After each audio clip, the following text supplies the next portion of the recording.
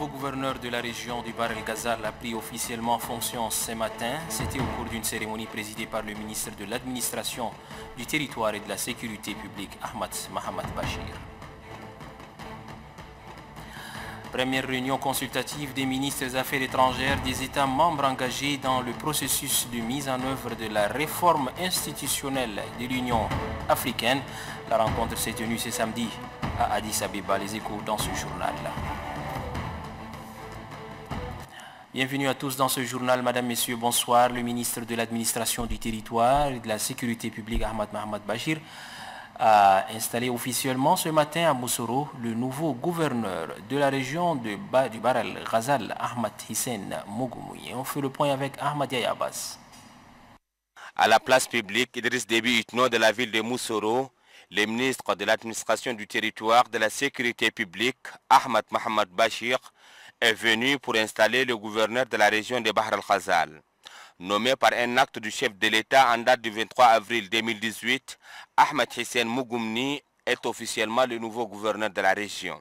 Il remplace à ses postes Tahir Barkay, un vieux routier de l'administration publique. Plus d'une année passée à la tête de la dite région, Tahir Barkay rassure son remplaçant qu'il va bénéficier d'une région qui aspire à la paix et surtout à la cohabitation pacifique.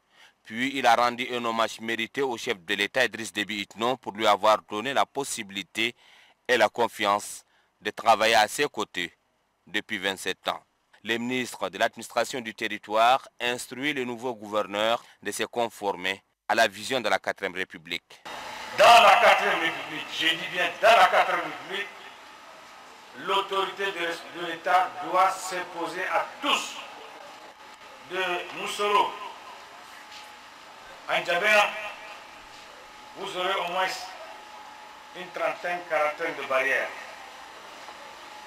Des hommes en treillis et par moments des hommes qui ne sont même pas sur le registre de la République. Je veux dire simplement des bogo-bogo. Se mettent tout au long du chemin avec des barrières anarchiques pour arnaquer pour arnaquer la population que vous voyez là. Cette population ne mérite pas de l'arnaque. Aucune barrière. Terminer avec les barrières, pas de barrières. Police, gendarme, ANS, GNT, qui que ce soit, aucune barrière dans votre circonscription, sauf les barrières de frontières. Ahmed Hissène Mougoumni dit avoir pris bonne note et promet tout mettre en œuvre pour appliquer les orientations voulues par les plus hautes autorités du pays. Le gouverneur entrant est un commis de l'État dont la qualité n'est point à douter. Il fut ministre de la formation professionnelle et de promotion des métiers. Je le disais en titre, la première réunion consultative des ministres des Affaires étrangères des États membres engagés dans le processus de mise en œuvre de la réforme institutionnelle de l'Union africaine s'est tenue ce samedi à Addis Abeba, en Éthiopie. La cérémonie de clôture s'est déroulée en présence du président rwandais, président en exercice de l'Union africaine, Paul Kagame, et du président congolais, Denis Sassou Nguesso. Gapili ils sont 15 ministres des Affaires étrangères représentant les différentes régions d'Afrique à examiner en profondeur la mise en œuvre du processus de réforme de l'Union africaine, parmi lesquels Chérif Mamarzen, ministre tchadien des Affaires étrangères, le Tchad qui joue un rôle important dans le processus de réforme de l'Union africaine. C'est suite à la divergence de vues sur certaines propositions lors du sommet de l'Union africaine tenu en janvier dernier que les chefs d'État et de gouvernement ont lancé l'idée d'approfondir les consultations sur le processus de réforme institutionnelle en cours. Cette première importante réunion a été clôturée par le président rwandais et président en exercice de l'Union africaine Paul Kagame qui avait à ses côtés le président congolais Denis Sassou Nguesso et le président de la Commission de l'Union africaine Moussa Faki Mamat. Au cours de cette journée de travail, il a été examiné en profondeur la mise en œuvre effective du processus de réforme, les questions budgétaires et celle de l'organisation des sommets ordinaires des chefs d'État et l'établissement d'une division claire du travail entre l'Union africaine, les communautés économiques régionales, les organisations continentales et les États membres. Cette première session des ministres des Affaires étrangères a permis d'évaluer le processus de mise en œuvre de la réforme et de proposer des solutions concrètes pour éviter dans l'avenir toute malcompréhension dans les prises de décision au sein de l'Union. Ici, en Djamena, le bureau de liaison de l'Union africaine et le groupe des ambassadeurs d'Afrique accrédités au Tchad ont célébré hier le 55e anniversaire de la naissance de l'Union africaine. Cette célébration s'est déroulée dans un hôtel de la place en présence de la secrétaire d'État aux affaires étrangères, Dame Gelitni. Gagner le combat contre la corruption, une voie durable pour la transformation de l'Afrique. C'est avec cette conviction que le groupe des ambassadeurs des États de l'Union africaine accrédités au Tchad s'est retrouvé pour commémorer le 55e anniversaire de la naissance de l'Union africaine, une organisation qui a vu jour au lendemain des soleils des indépendances et qui a pour but d'assurer l'unité et la cohésion de l'Afrique. Pour la représentante spéciale du président de la Commission de l'Union africaine au Tchad, l'émergence de l'Afrique ne peut être possible que si le fléau de la corruption est enrayé. La lutte contre la corruption sous toutes ses formes revêt une importance cruciale. La corruption ruine la vie des gens ordinaires en même temps qu'elle sape leur confiance à leurs dirigeants et institutions publiques. Selon la secrétaire d'État aux Affaires étrangères, c'est pour accélérer son développement et se conformer à l'agenda 2063 de l'Union africaine le Tchad est passé de la troisième à la quatrième République. Le président de la République du Tchad, chef de l'État, chef du gouvernement, son Excellence M. Idriss Déby Itno, disait à juste titre dans son discours du 4 avril 2018, à l'occasion de la promulgation de la Constitution de la quatrième République, qu'il est temps de bâtir sur des valeurs fortes qui imposent des attitudes, des pratiques, des comportements nouveaux et vertueux, où la lutte contre la corruption, la rigueur dans la gestion de la chose publique, et l'assainissement des finances publiques seront au centre des priorités du gouvernement. Alice Naimbay poursuit en saluant les réformes qui sont enclenchées par les chefs d'État au sommet de Kigali pour donner un nouveau visage à l'Afrique. Rendez-vous est donné pour l'édition 2019 de cette célébration. Campagne de sensibilisation sur la 4ème République à l'intention des personnes handicapées. C'est une initiative de la commune du 5e arrondissement à Mangarasta. La vulgarisation du Forum national inclusif se poursuit par des campagnes de sensibilisation. Dans la commune du 5e arrondissement, les autorités de la dite commune échangent avec les personnes handicapées sur les tenants et les aboutissants de la 4e République. La nouvelle constitution, en son article 40, accorde une place de choix à l'éducation et à l'emploi des personnes handicapées, sourit le maire de la commune du 5e arrondissement, Mamad Saleh Moussa. Ces derniers de poursuivre que le Forum national inclusif marque une page historique du Tchad. À cet effet, il invite les filles et les fils du pays à un changement de mentalité pour le développement socio-économique. La 4 République veut le plus ardent du chef de l'État Idriss Déby appelle à la mobilisation de tous azimuts des y compris les personnes handicapées. Dr Ngomba Ijaïbi, membre du bureau politique national du MPS, a offert euh, un banquet à quelques fils du Mandoul, promis membre du gouvernement de la 4ème République. Objectif, présenter ses gratitudes au chef de l'État pour la confiance placée en leur modeste personnalité. Varilaj.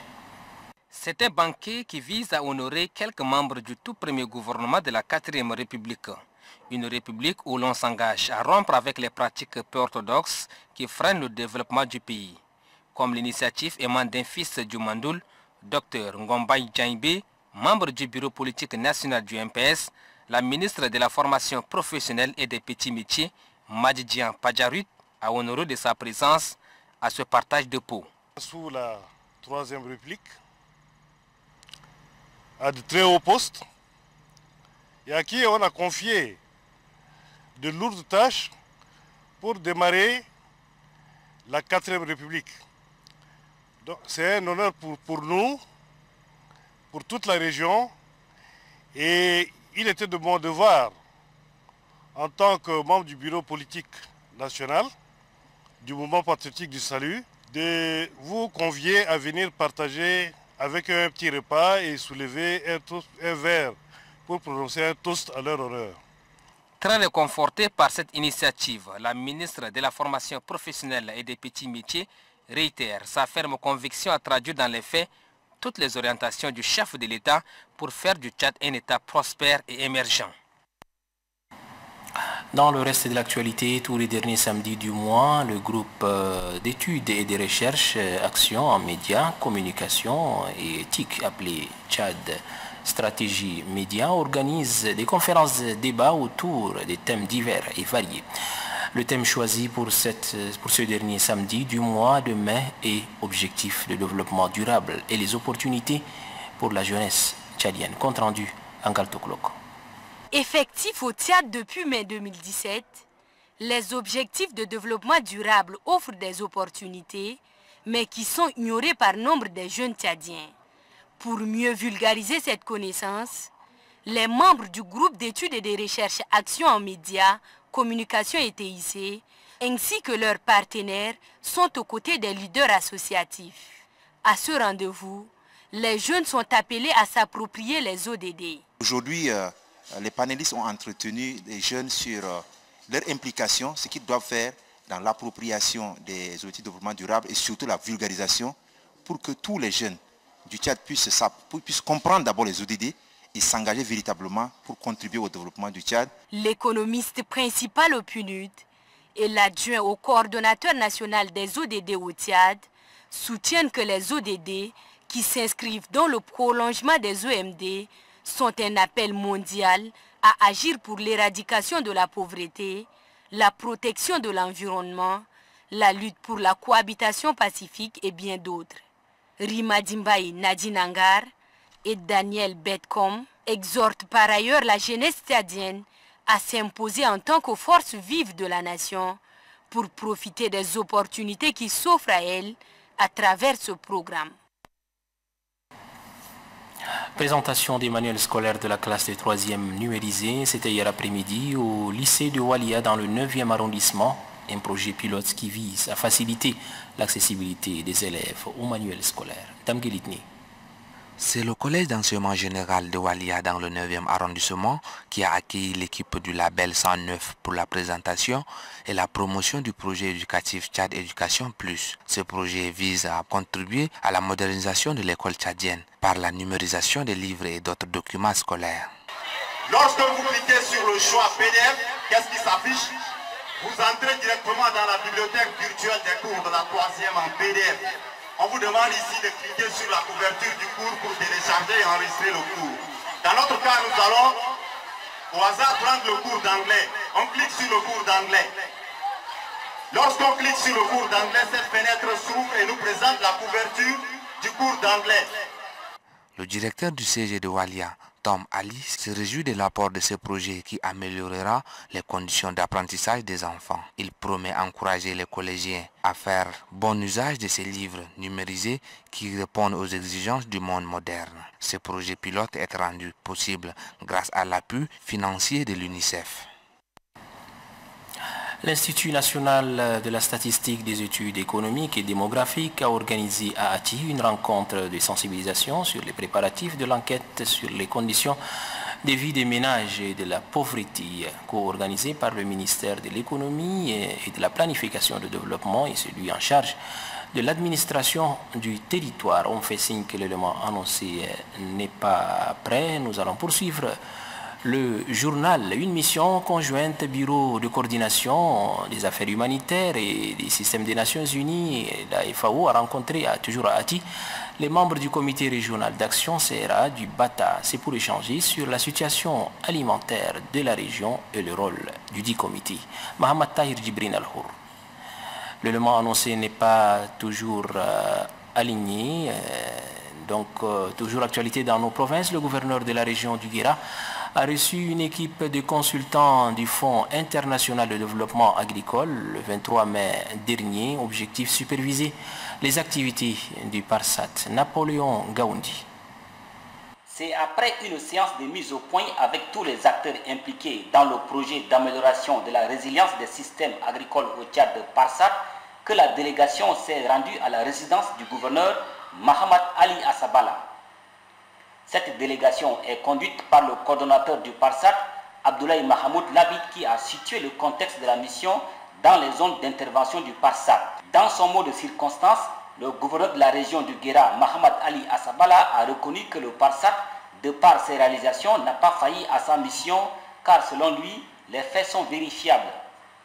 Même son de cloche pour le chef de la mission de FIDA, selon les premiers rapports. Cette mission, composée des experts consultants de FIDA, devra parcourir tous les six départements où intervient le Parsat en vue de constater les réalités de faits sur le terrain. Dans les différentes zones cibles, ces consultants seront accompagnés par les techniciens du PASSAC.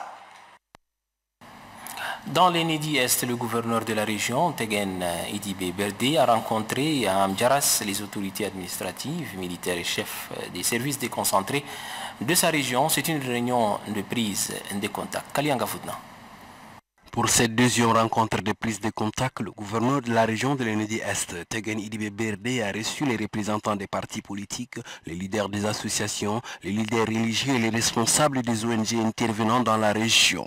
Occasion toute indiquée pour le gouverneur de solliciter le rapport dans le cadre du développement socio-économique de la région. Tegen Idibé Berdé invite ces derniers à jouer pleinement leur rôle pour aider la région à aller de l'avant. Le développement de la région dans le cadre économique et dans le cadre du développement de l'agriculture, de l'élevage, de l'environnement et de tenir de bonnes relations avec les pays voisins que nous sommes. Nous sommes voisins avec le Soudan, avec la Libye et la cohabitation entre la population et instaurer l'autorité de l'État au niveau de la région. Aux responsables des ONG, le gouverneur leur demande de collaborer étroitement avec les autorités en vue de mettre en place des projets répondant aux aspirations des personnes en état d'assistance. Il s'est aussi félicité de la cohabitation pacifique entre les différentes communautés de sa région avant d'exhorter les leaders religieux de continuer à prier pour la paix au Tchad. Dans le Logon occidental, le gouverneur Mohamed Béchir Sherif Daoussa a rencontré euh, ce matin à Mundou les chefs des cantons de sa région au menu de cette rencontre, le respect de l'autorité de l'État. Ahmad Ali Sen Ahmad.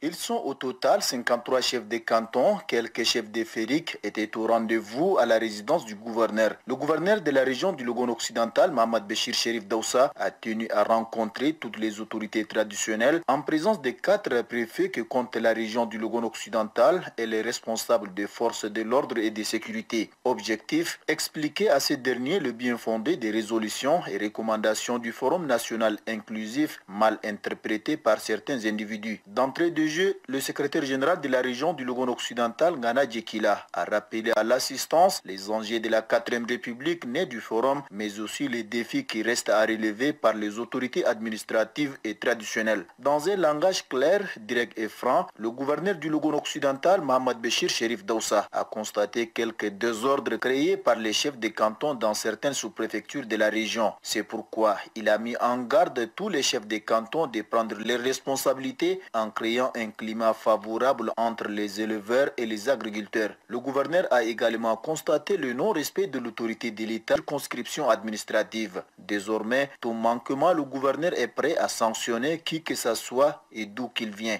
Mohamed Béchir Sherif Daoussa souligne que la 4ème République n'est pas le synonyme de désordre. Pour lui, à partir d'aujourd'hui, la kermesse des désordres est finie et définitivement bouclée. La 4ème République est déjà promulguée, elle est en marche. Et je vous rappelle que l'autorité de l'État ne se négocie pas, elle s'impose. Avec cette liberté, avec cette ouverture-là, chacun va faire ce qu'il veut, il se trompe. Il est hors de question de penser quelque part que je n'y peux rien. Celui qui ne peut pas s'assumer, il n'a qu'à lever la main tout de suite ici. Parlant de la cohabitation pacifique entre les éleveurs et les agriculteurs, le gouverneur a mis l'accent sur le non-respect des couloirs de transhumance, l'interdiction des champs pièges. Les éleveurs doivent bien garder leurs troupeaux pour éviter la dévastation des champs. En tirant la conclusion, le gouverneur Mohamed Béchir Sherif Daoussa a demandé à tous ceux qui ne peuvent pas s'assumer doivent démissionner de leurs fonctions. Les participants à cette rencontre saluent l'initiative du gouverneur. Les autorités administratives de la région du Logon occidental entendent appliquer tout ce que le gouverneur leur a demandé pour restaurer l'autorité de l'État et le bon vivre dans leurs ressorts respectifs. Revenons ici à N'Djamena où l'ambassade des Émirats arabes unis a offert hier soir un repas de rupture de jeûne à la population d'Ambriguibi dans le 5e arrondissement. C'était au terrain Zen Bada. Mohamed Oumar Moussal. Le mois de Ramadan est un moment de piété et de solidarité entre les fidèles. C'est dans cette optique que les Émirats arabes unis à travers les projets IFTAR intensifient les actes de bienfaisance au profit des couches défavorisées du quartier Ambriguébé. Cette assistance consiste à alléger les conditions de vie des vulnérables pendant le ramadan. Le projet IFTAR prend en charge chaque jour 500 personnes en situation difficile durant le mois béni. Les bénéficiaires saluent et louent ces gestes humanitaires en faveur des personnes démunies pendant le mois saint. Il remercie par ailleurs les Émiratis d'avoir pensé aux couches défavorisées pendant cette période difficile. Le Conseil supérieur des affaires islamiques, de concert avec la Fondation Grand Cœur, poursuit ses actes de bienfaisance à l'endroit des couches vulnérables. L'équipe du Conseil s'est rendue hier à la cité coranique de Kournari et au centre coranique Al-Mominat de Farsha pour remettre des vivres aux membres de ces deux organisations. Mohamed Suleiman. Les personnes démunies continuent à bénéficier des actes de bienfaisance du Conseil supérieur des affaires islamiques du Tchad sur financement de la Fondation Grand Cœur pendant ces mois saints de Ramadan. Le Conseil supérieur des affaires islamiques du Tchad a une fois de plus offert des vivres au centre Al-Medina Al-Khouraniya de Karal, au centre coranique Al-Mouminat de Mariandafak et au celui de Farsha. Il s'agit du sucre, du riz et d'huile. Les bénéficiaires se sont relayés pour remercier les bienfaiteurs. Les représentants du Conseil supérieur des affaires islamiques du Tchad relèvent que ce geste louable aidera un temps soit peu les bénéficiaires. Le directeur du centre Al-Medina Al-Khouraniya de Karal, Ousmane Abdallah Béchir, a salué ce geste louable de la première dame Hinda Debi Itno.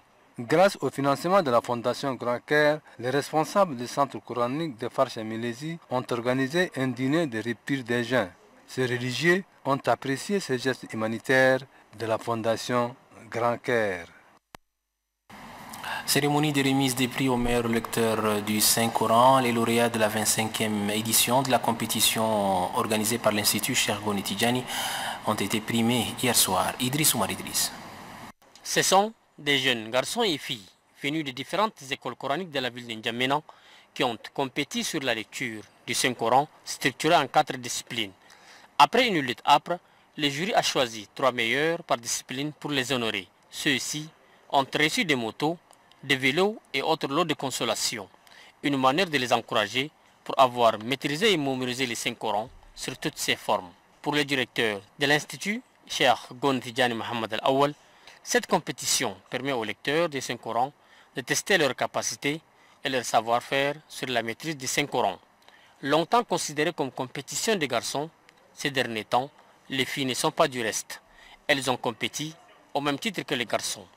À leur tour, elles ont reçu des prix en or pour certaines et l'argent pour d'autres. Le directeur des affaires coraniques au Conseil supérieur des affaires islamiques, Bakar Wallar, se réjouit de cette manifestation qui, dit-il, permet aux jeunes musulmans d'approfondir les connaissances en religion. Selon son propre expression, celui qui apprend le Coran est privilégié auprès d'Allah la compétition de la lecture du Saint-Coran, organisée par l'Institut Cheikh Kontidjani Mohamed Al-Awwal, est à sa 25e édition. Elle est organisée tous les mois du Ramadan, 9 mois de l'année lunaire. Il s'est tenu ce matin au centre Al-Mouna une conférence débat animée conjointement par euh, l'enseignant-chercheur euh, Gondi Ladiba et l'historien Ingamadji Arnaud, conférence qui a porté sur le thème relation entre l'Église catholique et l'État tchadien. Ahmad Garasta. Les relations entre l'Église catholique et l'État tchadien ont été au centre de ces échanges. Face au public, les orateurs ont expliqué le principe de base de la laïcité entre l'Église catholique et l'État. L'Église catholique est instaurée au Tchad depuis les années 1930 et elle a une dimension spirituelle et sociale qui lui a permis d'être installée sur toute l'étendue du territoire national. Grâce à ses actions dans le domaine de la santé, de l'éducation, des cultures tissent avec l'État tchadien une relation solide au profit de la nation. Le cadre juridique des relations entre ces deux entités euh, repose d'abord sur un fondement constitutionnel, c'est la constitution de la 4 République. Nous constatons qu'il euh, euh, y a une permanence de quelque chose, c'est le principe de la laïcité qui est reconnu de manière discontinue depuis lors jusqu'à maintenant. Et c'est ce principe qui encadre pour régir toutes les relations entre l'État et les confessions religieuses. Cette conférence débat sur les relations entre l'Église catholique et l'État tchadien vise à mieux connaître le rôle que joue l'Église dans la politique de l'État. Et puis cette nouvelle brève, les fidèles de l'église foyer fraternel et ceux de l'église évangélique numéro 12 mènent une opération de salubrité au sein du centre de santé du quartier d'Embe. Cette opération d'enlèvement des ordures, selon les initiateurs, s'inscrit dans le cadre de la journée culturelle que célèbrent les fidèles de ces deux églises.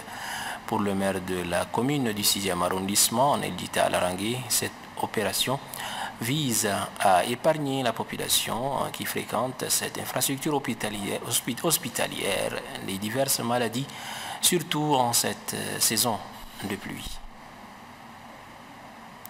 En sport, le président du, comité olympique et sportif tchadien, Maître Bakar Djarma, a fait un point de presse ce matin. Il, il s'est exprimé par rapport aux bourses qui ont été attribuées par la solidarité olympique aux athlètes nationaux. un extrait de ses propos. Nous vous informons à ce jour qu'après étude des dossiers en tenant compte du profil requis de nos candidats, quatre de nos athlètes issus des disciplines bien connues des Tchadiens sont retenus et bénéficient des bourses de préparation pour Tokyo 2020.